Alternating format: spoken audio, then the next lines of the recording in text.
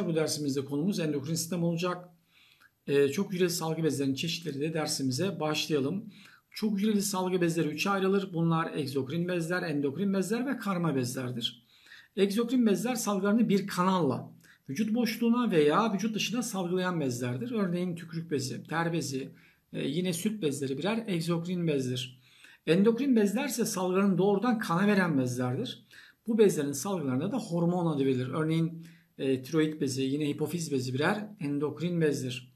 Karma bezler ise hem endokrin hem de egzokrin bez özelliği gösterirler. Örneğin pankreas karma bir bezdir. Endokrin bezlerin salgıları olan hormonların genel özellikleriyle dersimize devam edelim. Hormonlar genellikle protein, steroid veya amino asit yapılıdırlar. E bunun yanında e, glikoprotein yapılı olan hormonlar da bulunmaktadır. Yine protein yapılı hormonlar içerisinde polipeptit e, ve yine peptit yapılı olanlar da vardır arkadaşlar. Hormonların etki ettikleri dokuya da organa hedef organ, etki ettikleri hücreye ise hedef hücre adı verilir. Bir hormonun etki edebilmesi için hedef organa ait hücrenin zarındaki veya hücrenin içindeki reseptöre bağlanabilmesi gerekir. Dikkat ederseniz e, hormonların bağlanabildikleri reseptörler ya hücre zarında bulunur ya da hücrenin içinde bulunur. Hücre içindeki reseptörler de ya sitoplazmadadırlar ya da hücrenin çekirdeğindedirler. Ee, örneğin protein yapılı bir hormon olan insülin hormonunun reseptörü hücre zarında bulunur. Ee, halbuki steroid yapılı bir hormon olan kortizol hormonunun reseptörü hücre zarında değil hücrenin içindedir. E, dolayısıyla da e, bazı hormonların reseptörlerinin hücre zarında bazı hormonların reseptörlerinin de hücrenin içinde olduğunu söyleyebiliriz. Bazı hormonların hedef organı tek bir organken bazı hormonların hedef organı tüm vücuttur. Örneğin hipofizin ön lobundan salgılanan STH hormonunun hedef organı tüm vücuttur. Yine hipofizin ön lobundan salgılanan TSH hormonunun hedef organı ise yalnızca tiroid bezidir. STH hormonunun hedef organının tüm vücut, TSH hormonunun ise hedef organının yalnızca tiroid bezi olmasının sebebi STH hormonunun e, bağlanacağı reseptör çeşidinin e, tüm vücut hücrelerinin zarında olması, TSH hormonunun bağlanacağı reseptör çeşidinin ise yalnızca tiroid bezine ait hücrelerin zarında olmasından dolayıdır. Hormonlar hedef organa kan yoluyla taşınırlar. Bir hormonun etki edebilmesi için kanda belli bir seviyede olması gerekir. E, hormonun normalden az veya normalden çok olması hastalıklara neden olur. Hormonlar kan yoluyla taşındıkları için iletim daima yavaştır. E, kanda belli bir değerin altına düşünceye kadar etki etmeye devam ettikleri için ise etki süreleri uzundur. Unutmayalım ki arkadaşlar hormonlar genellikle endokrin bezlerinden salgılanan, hedef organlara kan ile taşınan organik kimyasal uyarıcılardır düzenleyici olarak da görev yaparlar. Evet 2010 yılı LYS sorusunda çıkmış olan sorumuza da e, birlikte bir bakalım arkadaşlar. Bazı hormonların sadece hedef hücrelerde tepki oluşturabilmeleri hormonların aşağıda verilen özelliklerinden hangisiyle açıklanabilir? Arkadaşlar e, hormonların e, hedef hücrelerde tepki oluşturabilmesi için mutlaka hedef hücrenin zarındaki veya e, içindeki hücrenin içindeki reseptöre bağlanabilmesi gerekir. E, bu durumda ancak tepki oluşabilir. A şıkkına baktığımızda hücrede ilgili hormona özgü reseptörler olmasıyla diye ifade edilmiş. Yanıtımız A şıkkı arkadaşlar.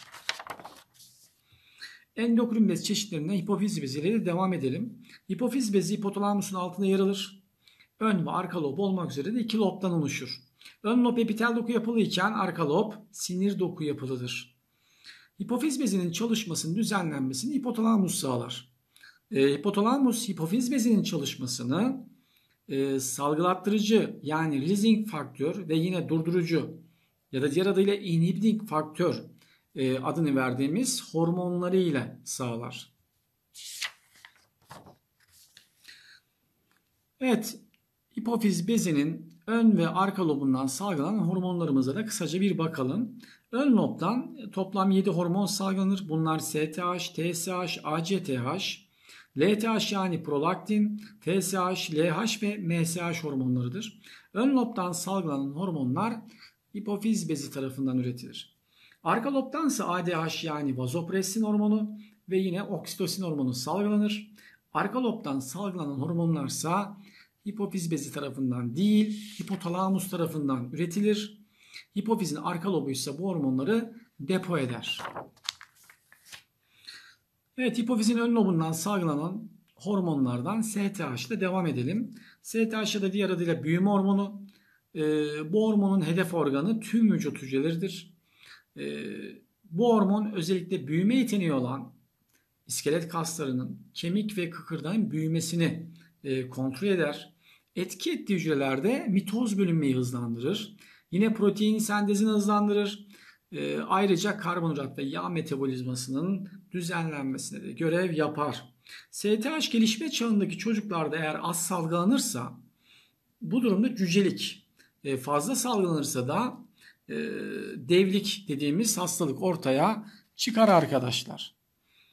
Gelişme çağından sonra ise fazla miktarda salgılanması durumunda el, ayak, alın, burun ve alt çene kemiklerinin fazla büyümesi şeklinde gözlenen akromegali olarak adlandırılan e, hastalık ortaya çıkar. E, yine bazı durumlarda ise büyüme hormonunun yeterli salgılanmasına rağmen vücut hücrelerinde bu hormonu tanıyan reseptörlerin eksik olması nedeniyle cücelik ortaya çıkabilir. E, örneğin Afrika'daki pigme ırkının cüceliklerinin sebebi e, bu durumdur. Yani dikkat ederseniz e, cüceliğin ortaya çıkmasında yalnızca STH hormonunun yetersiz olması değil, aynı zamanda e, reseptör sayısının yetersiz olmasından kaynaklı da olabilir. Yani e, örneğin işte pigme ırkında e, STH hormonu yeterince salgılanmasına rağmen reseptör sayısı az olduğu için yine cücelik ortaya çıkmış arkadaşlar. Evet diğer bir hormonumuza bakalım. Tiroid uyarıcı hormon yani TSH hormonu. Tiroid bezinden hormon salgılanmasını sağlar. Adrenokortikotropik hormon yani ACTH ise böbrek üstü bezinin kabuk yani korteks kısmını uyararak e, bu kısımdan steroid yapılı hormonların salgılanmasını sağlar.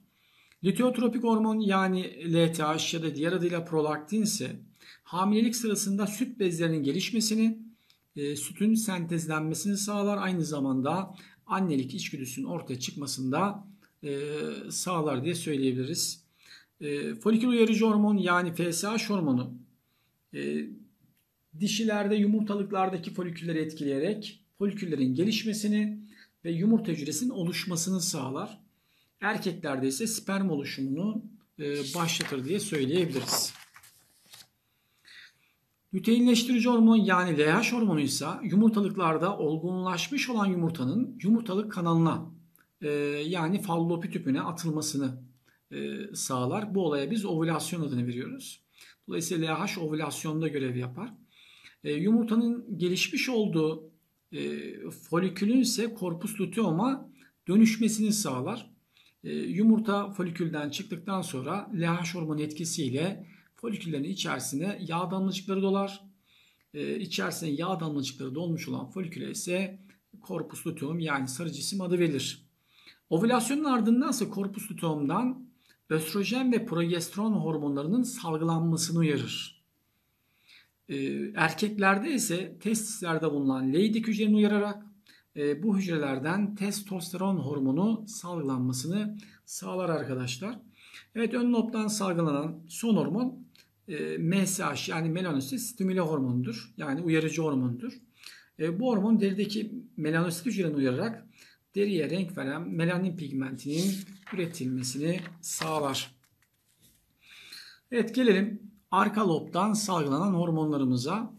Arka lobdan az önce belirttiğim gibi ADH yani vazopressin ve oksitosin hormonları salgılanmaktadır. Unutmayalım ki arka lobdan salgılanan hormonları hipofiz bezi değil hipotalamus üretir. Hipofiz bezi ise bu hormonları depo eder. ADH hormonu kanın ozmotik basıncının ayarlanmasında görev yapar. Ee, eğer ki kanın ozmotik basıncı artarsa ADH salgısı da artar.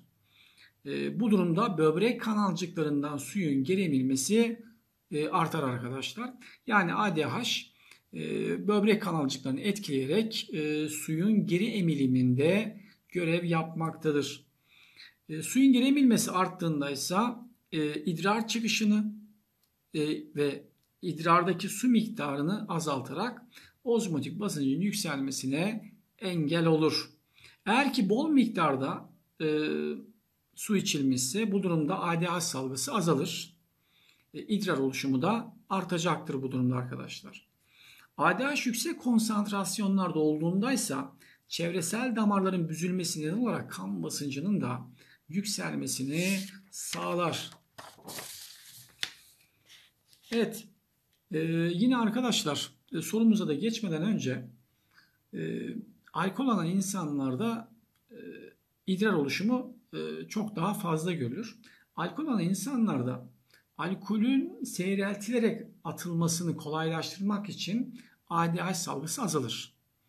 E, dolayısıyla ADH salgısı azaldığı için de alkol alan bireylerde e, idrar oluşumu artar arkadaşlar.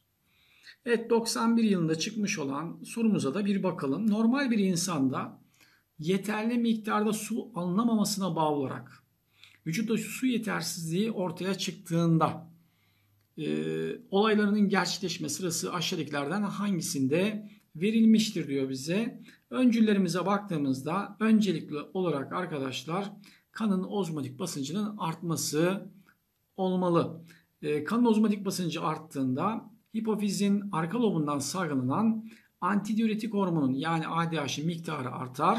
E, bu durumda böbrekten suyun geri emilimi artar. Yani yanıtımız 2, 1 ve 3 şeklinde olacaktır arkadaşlar. Yani e, C şıkkı doğru yanıttır. Evet gelelim son hormonumuza oksitosin hormonuyla devam edelim. Oksitosin hormonu hamileliğin sonlarına doğru artar. E, doğum sırasında doğum sancısını başlatır. E, yani rahimdeki düz kasların kasılmasını sağlar. Doğum sonrasında ise süt bezlerinde basıncı artırarak sütün süt bezlerinden boşaltılmasını sağlar diye söyleyebilirim. E, bu dersimizde endokrin sisteme başladık. Hipofizin ön ve arka lobundan salgılanan hormonları gördük. Bir sonraki dersimizde görüşmek üzere. Hoşçakalın.